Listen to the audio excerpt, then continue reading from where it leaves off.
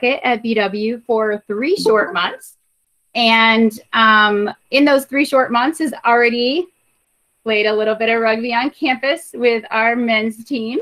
Um, but I'm super excited that uh, she's able to join us and talk a little bit about her expertise. She comes to us from Cleveland State University and then prior to that, Kent State University, where she worked with student development and um, specifically um, diversity, um, inclusion, and equity. So, Dr. Rashid, welcome and thank you for joining us.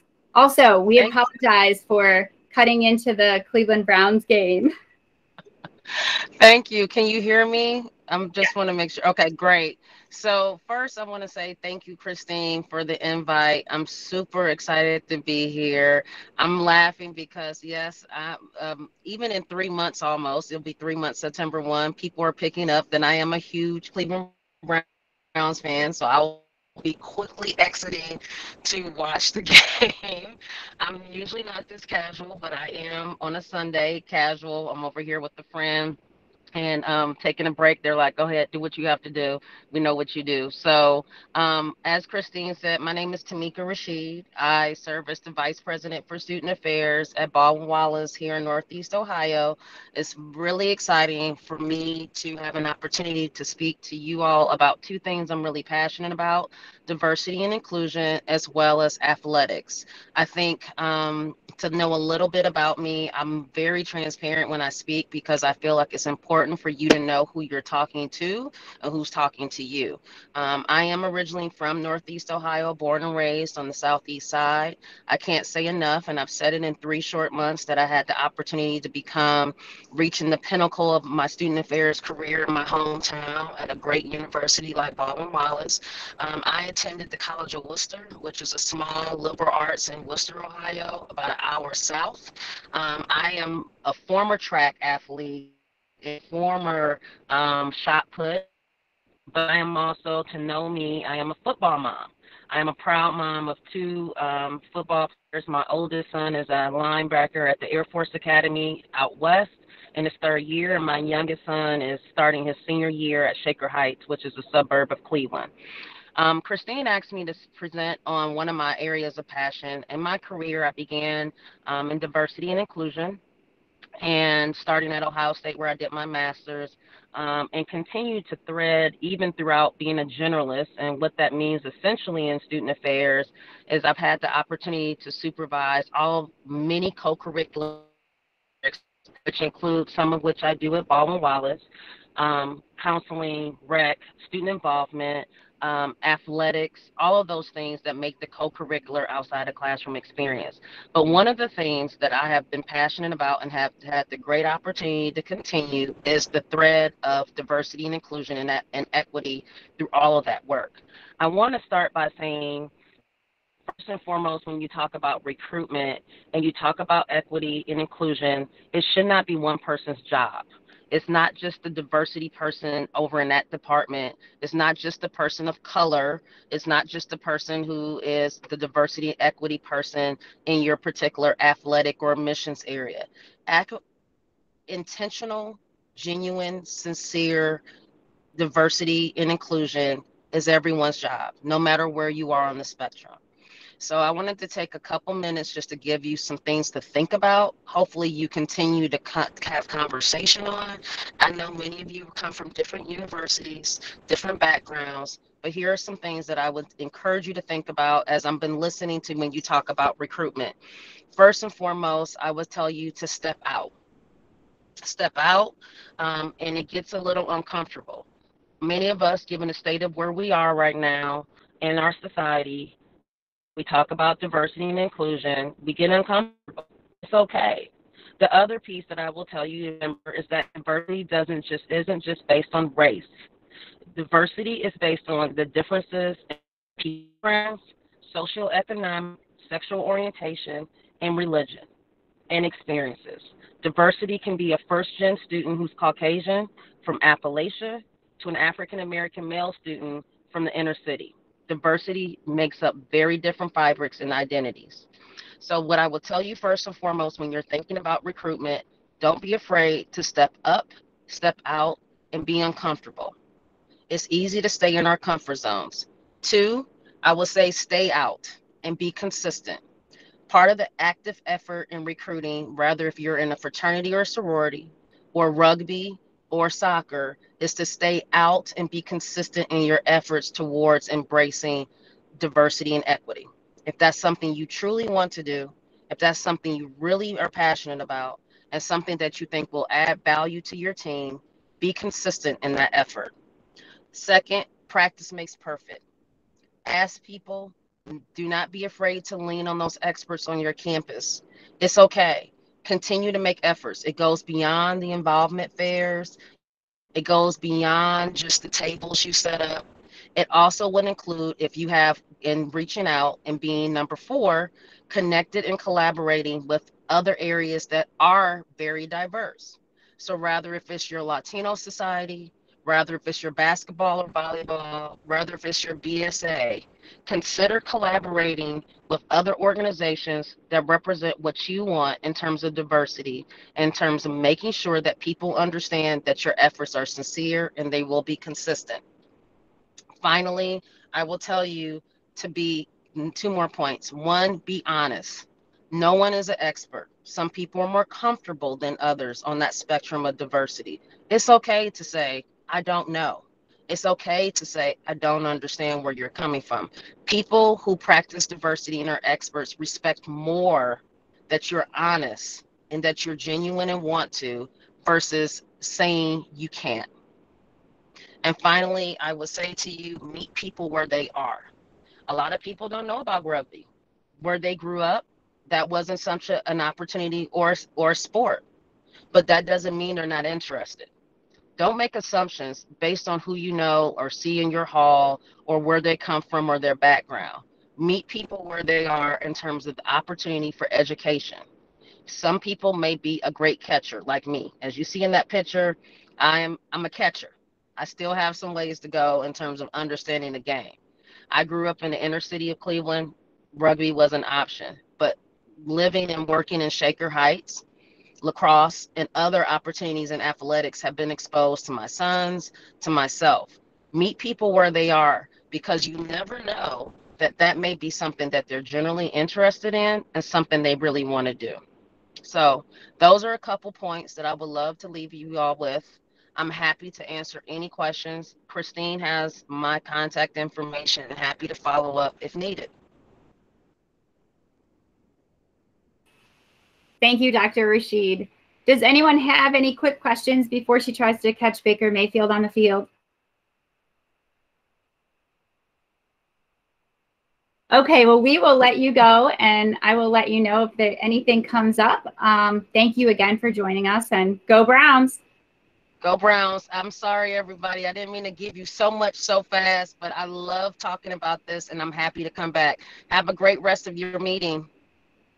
Thank you. Bye. Bye bye.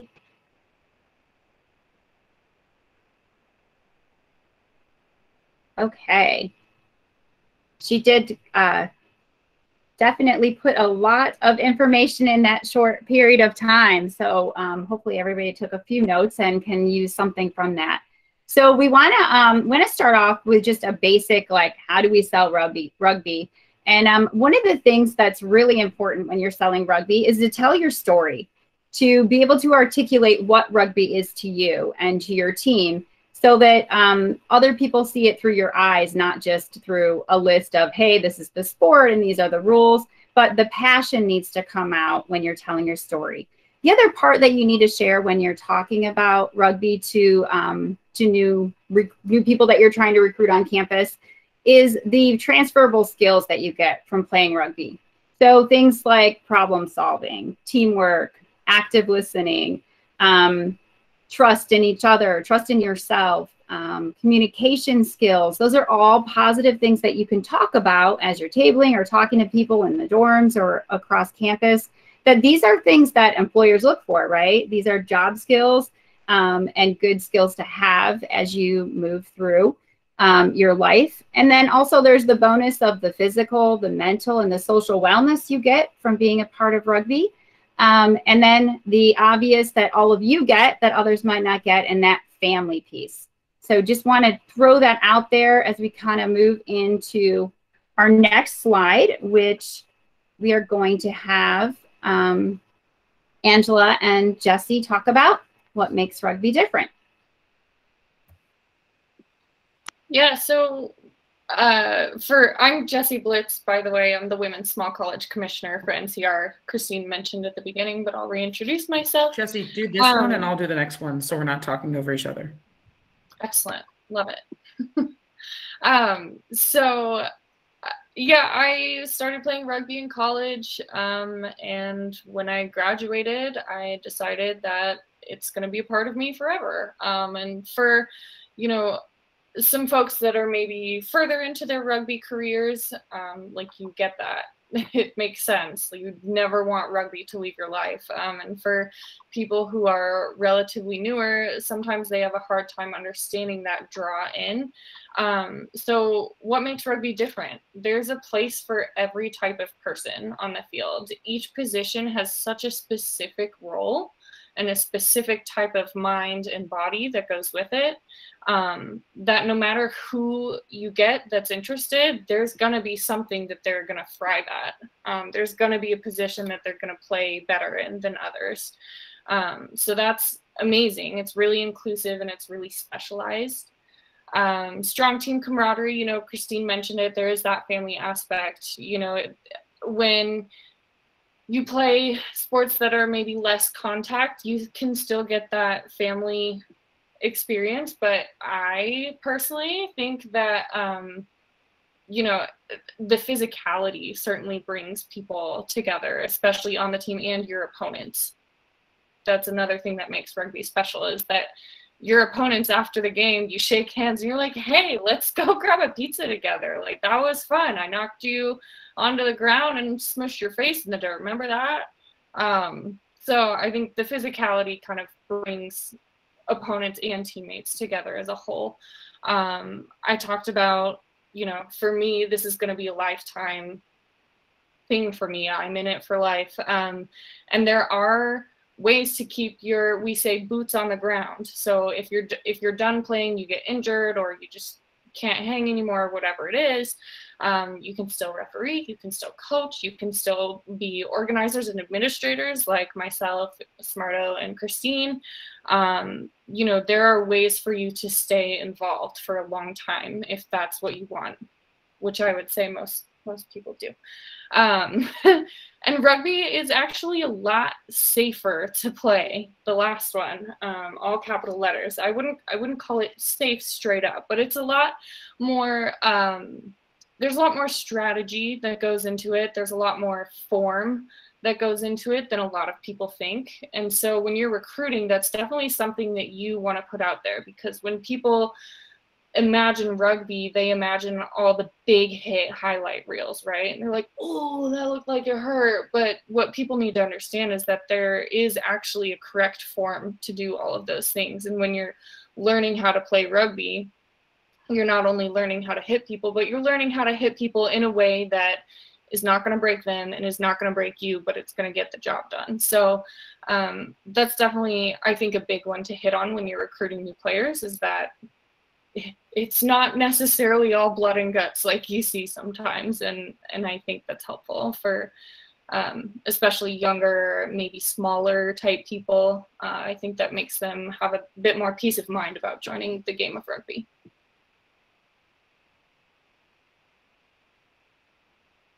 Thank you jesse. And smarto so it's actually really awesome that Dr. Rashid said to meet people where they're at because this, we talked about what makes rugby different can be very attractive to people because it's new. But because it's new, that sometimes becomes a barrier for people to join because they think they don't know how to do it. Well, I don't, I didn't play rugby. So I don't, I'm not signing up for the rugby team because I didn't play in high school. Um, I was also recruited, uh, you know, I started playing rugby in college too. And I basically got recruited with, do you have cleats with you? Yeah, I brought my cleats. I don't know why, but I did in case I ended up playing sports. Okay, well, bring your cleats and come to this because I played other sports. So when you're talking to people, because you're going to, you know, when you're at your tables or you're recruiting on campus, or if you ever see someone in the gym who's doing squats for no reason, go talk to them because those are the kinds of people you want on your team. And these are the kinds of things they're going to say is like, oh, no, no, no. Uh, I'm a cross country runner. I'm not going to, I don't play sports. Go, oh, so you're really fit and you have really great endurance. That's really great because you play rugby for 80 minutes. Or, um, you know, uh, I was a, you know, for on the men's side, there's usually more wrestlers in football, but I've had female wrestlers in football as well. Um, and those skills con- uh, transfer quite well. Obviously, it's like, oh, well, you can kind of do that, but that's kind of illegal in rugby, you know, so you can tweak those things. But these are just some examples. Um, the hardest hit I ever got in my life is from like a 120 pound dance major that was on my team, and she absolutely laid me out. So when you're recruiting, um, you need to find all different types of athletes and all different kinds of people. So I just wanted to give you some examples here of specific things to say to people in specific sports. And you could probably come up with a lot of things uh, for other sports. I just kind of, you know, came up with six. Um, and that's why I, I, put up this graphic. This is from Grace College. Grace College is in Indiana, the women's team. And this player, this whoever Lydia Staten is, is Lydia here? That would be hilarious. Is Lydia here? No, probably not. Um, but they recruited this player from high school, and you can look my sports experience: soccer, basketball, and softball. We all got you all. Everybody gets recruited at some point, and nobody ever's like, "Man, I wish I waited five more years to keep to start playing rugby." Once you get in, it's always, "I wish I played sooner. I wish I knew about this sooner. I wish I had this opportunity sooner. So that's how you need to hook people and say, you know, to come give it a chance. So if people are nervous and timid that they feel like they don't know how to do it, this is how you can lure them in and say, and if some, I, every year I get somebody who said they've never played a sport before in their life. Happens every year. I never played a sport. I want to try this one. And all you do is say, great, we'll teach you everything. Right. So always just be it's part of that inclusive and you might have to teach this there might be some more basic athletics things that they're not exposed to but that doesn't mean that they don't have potential so these are just some different quips you can get people in and out so that's what makes rugby the same and how your you know your language um, to be inclusive to anyone with any kind of background can be i'm done christine Thank you, Smarto. I think that's really important to think about our the way that we articulate that again, coming back to like how you're relating their experiences, meeting them where they are, and getting them on your team. Um, so take out, if you have accessible to you right now, a paper and a pencil. Um, we're gonna make the first page in your playbook, if you will, for the 2021 fall season, 22 seasons. Um, so you're going to draw a basic upright and label your um, the bottoms there with campus support or resources, community support, and then the top two sides of the upright, you can write physical recruitment and digital recruitment. And I like to think about things um, I'm an administrator. I'm not a, a, rugby coach, and I did not play rugby. So I'm an administrator that oversees, as a club sports director, um, our multiple club sports, but specifically men's and women's rugby at Baldwin Wallace. And when we try to come up with ideas and think creatively, um, I think it's important to kind of like jot things down on paper and then look at where you can make those connections sort of happen. Um, so we're going to use this throughout the rest of the, um, the evening here, the next 20 minutes or so that we have with you. So if you're able to do that, otherwise, um, I did send everyone a copy of this in the email um, that came out at about 7.30 as well. Okay, so we're going to go to Jesse, and she's going to talk about that first one, the digital recruitment.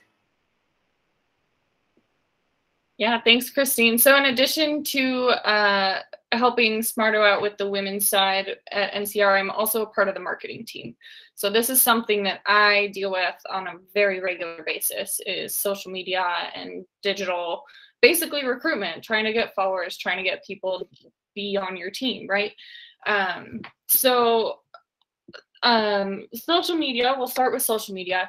Um, we recently actually went and looked up all of the NCR clubs' social media accounts Um, and this was incredibly tedious and difficult because so many clubs had pages from 2016, 2014, the 2012 alumni page, whatever it was. And so I highly encourage you that if your team has a social media account, you unless it's like the alumni account and there's people from whatever years, I highly suggest you delete every single account that your team has unless it's this year's account. So keep things up to date and current. That definitely helps people find you on the internet. Um, sometimes I've found myself doing this if I am like looking for a certain organization or company and I have to ask them a question and I'll use the Facebook Messenger and then I realize I messaged the wrong page because it's outdated. Um, so it's a lot easier for people to contact you and to find you if you delete all of your outdated social media accounts. So we'll start there.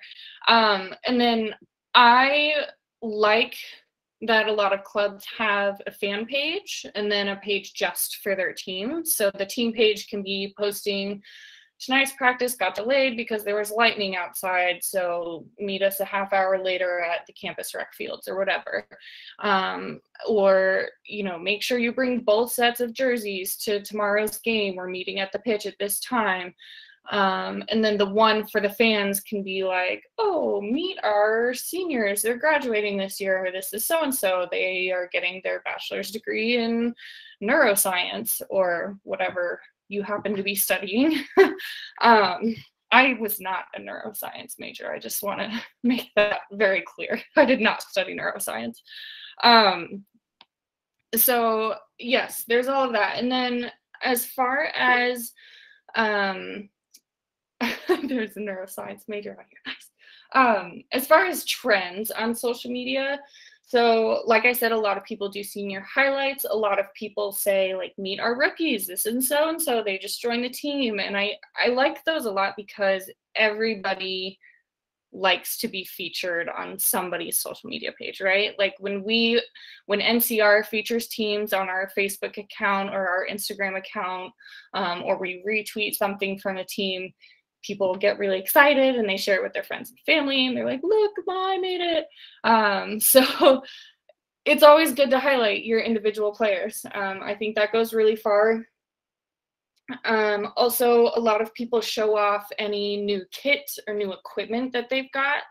That's also a really great way to get visibility online because you can tag your supplier. So ncr we use rhino rhino rugby for everything um, so if you, you know, have a new kit or a new scrum sled or something and you're really excited about it, tag for us Rhino Rugby because they're going to see that and they're going to love that you're using their products. Um, and everybody who sees Rhino Rugby's account can see what they're tagged in. So that brings a lot more eyes to your page. Um, I guess not necessarily recruitment, but definitely a good tool to use on social media. Um, and then that first bullet point up there says create FOMO, share all the fun. So that definitely goes a long way. I mean, especially in college, if somebody's, you know, sitting there at home and they're playing video games, they're like, this is the fifth day in a row I've been playing video games. What am I going to do with myself? And then they go and they're scrolling through Instagram and they're like, ah, the rugby team just went and got pizza like two blocks down from my dorm. That sounds awesome you know? So creating fomo making sure everybody knows what you're doing and how exciting it is that will definitely gain traction. Um, it'll appeal to a lot of different people. It'll bring people to you. And then lastly um, on social media videos get the most attention. Um, so the most likes the most comments the most shares are usually videos. So i suggest posting a lot of footage from you know practice footage whether you're conditioning or you're doing tackle practice or um, you know your the backs are lined up and they're waiting for the forwards to finish their line out and somebody's you know doing a little dance by themselves and which happens a lot.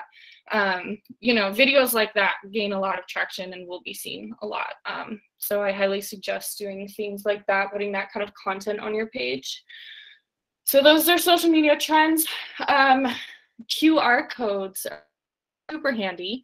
Um, I know at recruitment tables, a lot of teams will have a QR code that um, uh, newcomers can scan and then it'll bring them to a form and they can say name, email, phone number, and then they're signed up on the contact list for your team. So it makes everything really quick, easy, in a central location for you.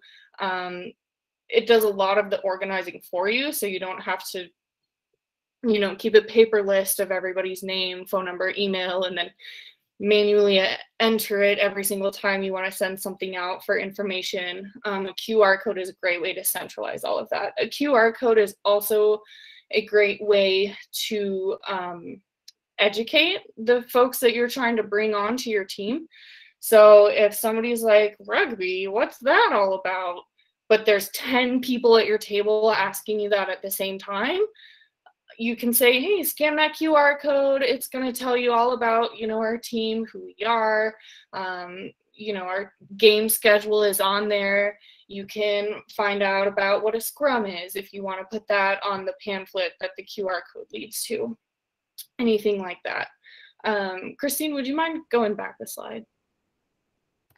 Oh, sorry. That's okay. Thank you. um, so yes, QR codes super easy to make. Also, I'm pretty sure you can just Google QR code generator and it's like the first link that pops up. It's really easy to do. Um, group messaging. So that's the probably the best modern way to get information out to your team all at once. Um, you know, always add people who sign up at your club fair table or people that you find walking to class through the quad and you're like hey you thought about rugby? And they're like uh sure maybe just add them to your group and then they can get all the information that they need that way. And you can always if somebody decides not to stick with the team for whatever reason um, you can always kick them out of the group message. So it's not it's no harm the more people you add to the team message um, like it says there helps with bonding with the team and organization. Um, it's just a place where everybody can always be together. Um, and having a website. So I know that the Smartos team actually has done a lot of work with uh, their website, um, or at least their conference. Um, has done a lot of work with their website. They set up a ton of fundraisers through their website, and it's just a great place for people to go if they want to. If they're like, "Oh yeah, when does the rugby team practice again?" They can just look up your website and then everything's all right there for them. Again, an easy way to centralize all your team's information.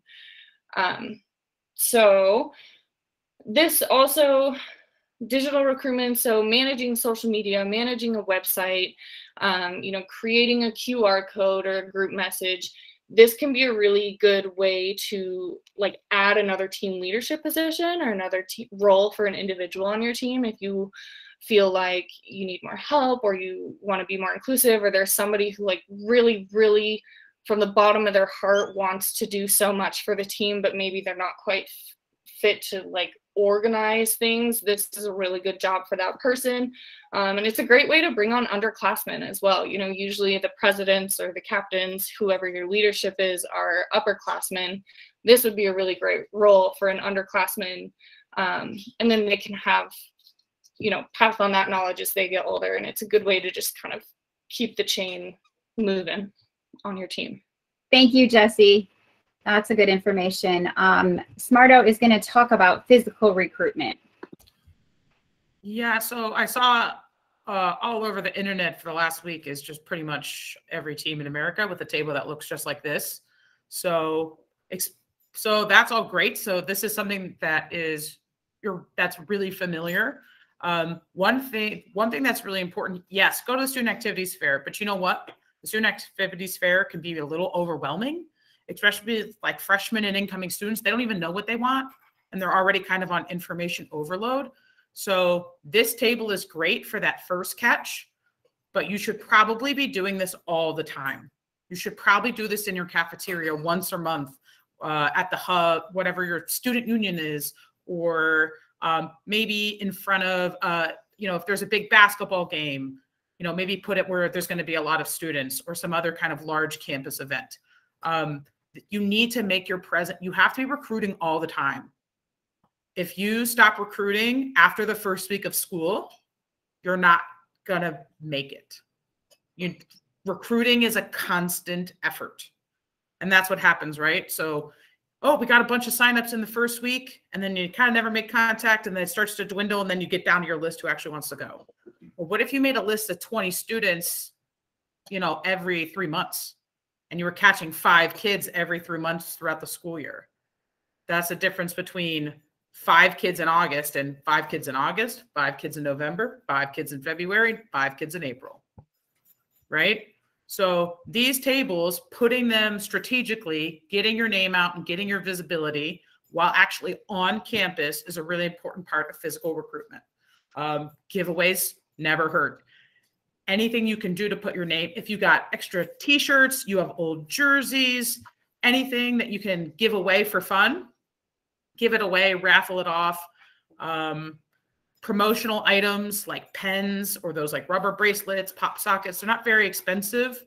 So if you spent maybe a hundred some bucks, you could probably get a thousand pens that say "Come play rugby" with your team email on it, and you can put them all over the library and or you know where I don't know wherever you study. If you're actually studying, who knows? But who doesn't need a free pen, right? Everybody gonna need a free pen. Uh, oh yeah, stickers are a great idea sticking, you know, um, putting, uh, you know, maybe I, I, think stickers and pens are really cheap, so it's probably a good way to go.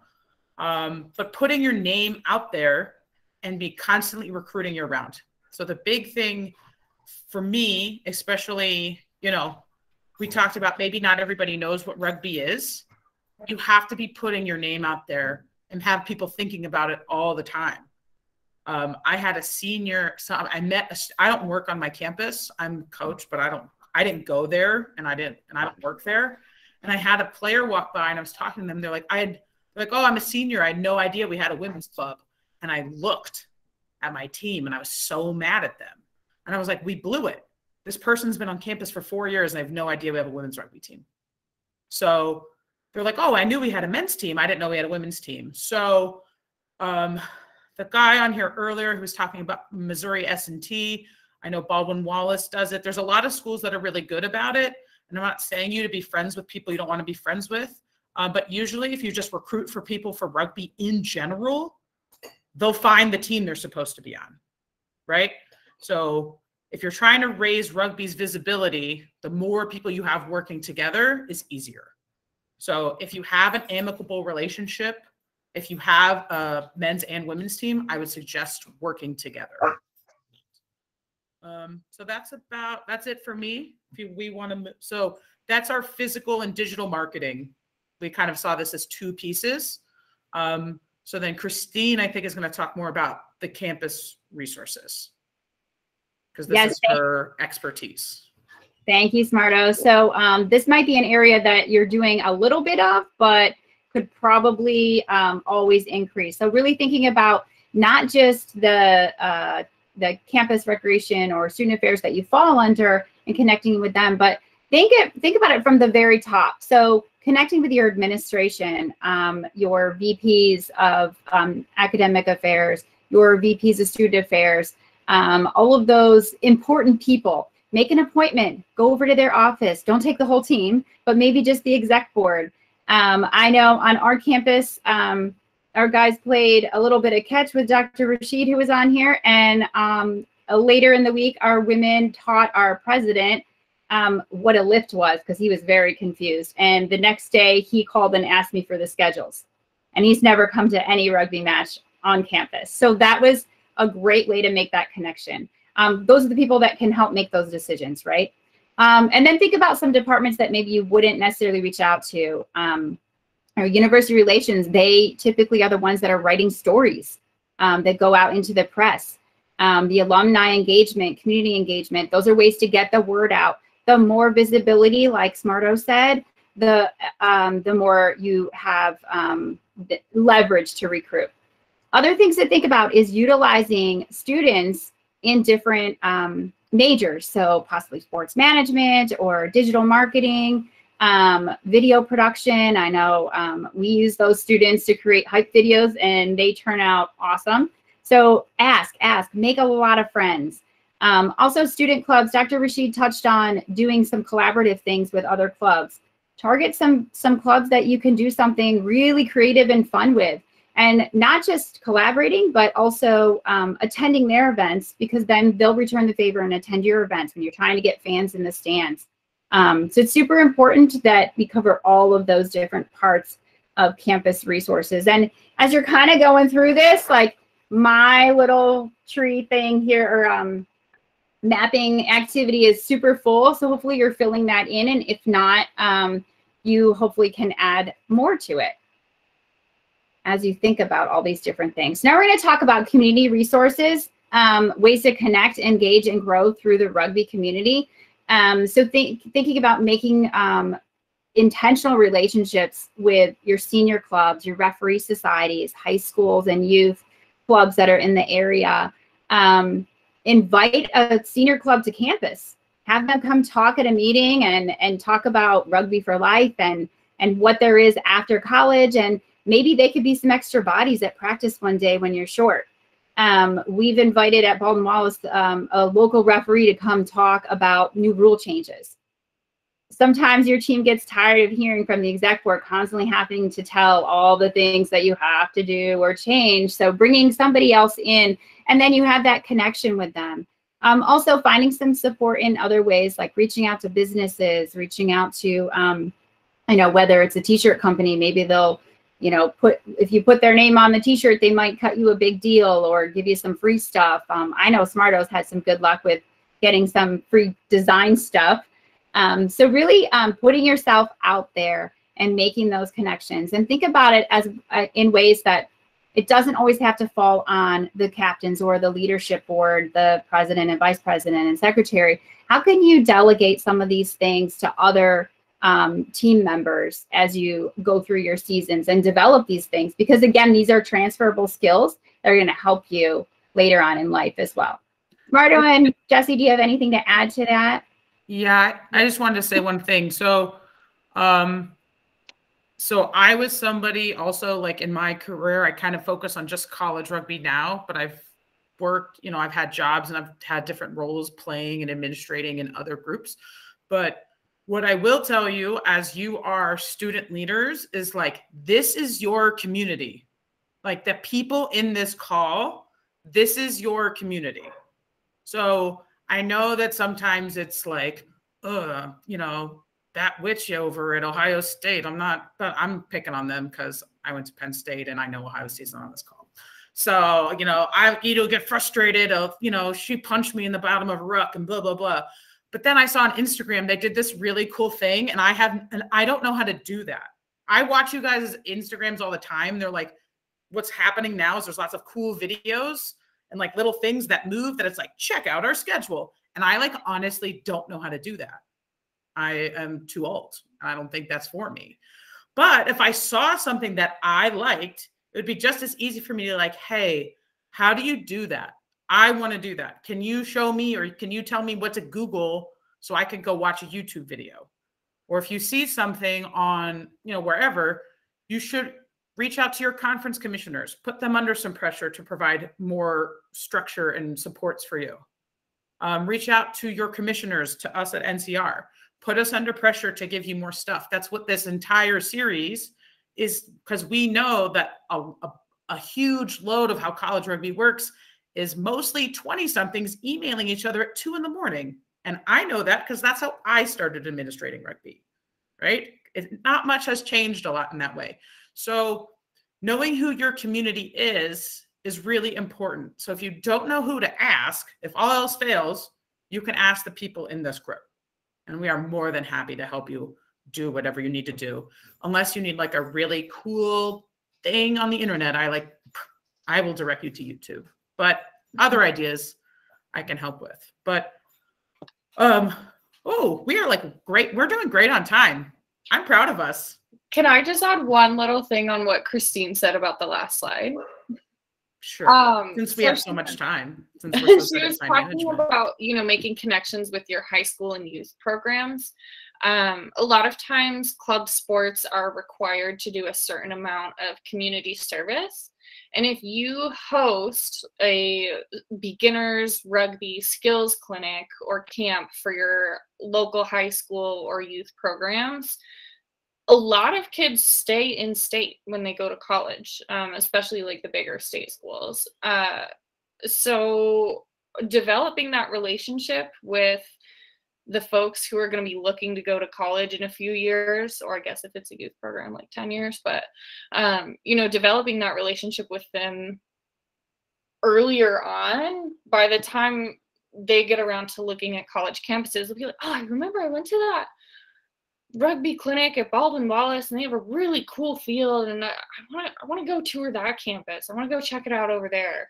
Um, you know so it's a it's not only recruit for your team early on, but also for your school. I think the administrators will like that. Um, so that's a really cool tool, good idea. Um, if you if your club sports department requires some type of community service, I highly suggest doing something like that. that Thank you, Jesse.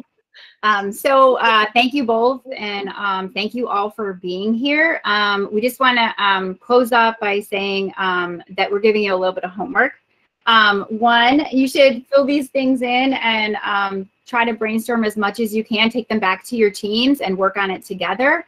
and go ahead and create some content for us. Either share your ideas and tag us at NCR Proud or share a photo that you've got going on about recruit recruitment or a video that you created in your next post. Um, and we're going to share that stuff away. Also, keep in mind, um, just like uh, Jesse said, that and Angela or Smarto said, this is um, this is your family too. So um, we want to connect you and help build your networking so that you can share ideas with each other. So um, we are, I am going to send a follow-up email. And if, if anyone does not want to be shared um, publicly, then I'll respect that. Just let us know. But I'm going to share a, a follow-up email and just kind of get everybody connected. Um, we do have a couple more dates this semester, and um, you'll see some information coming out on those.